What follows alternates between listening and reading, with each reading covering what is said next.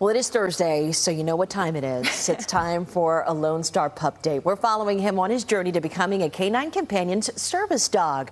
Now, he was very busy this past week doing some shopping oh. at Cabela's. Okay. okay. Where he also met up with his brother Kaz. Now, then it was off to the courthouse where he made friends with a local judge and also a bailiff.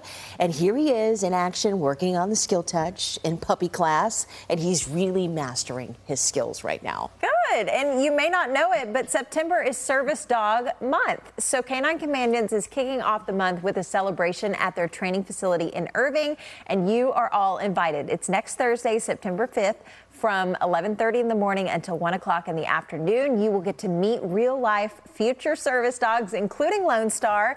You get a food truck lunch and get to see the first public release of the animated short film, Andy, a Dog's Tale. That's How fun, fun. is that? Love it. I love it too. That's great.